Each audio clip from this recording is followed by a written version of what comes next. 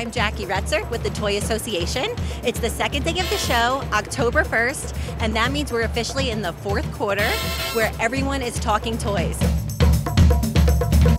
This morning, we welcomed about 300 undergraduates to our Student Congress program and gave them a really meaningful experience, a fantastic panelists telling them how to get their career in the toy industry started. Toy Fair, play reimagined.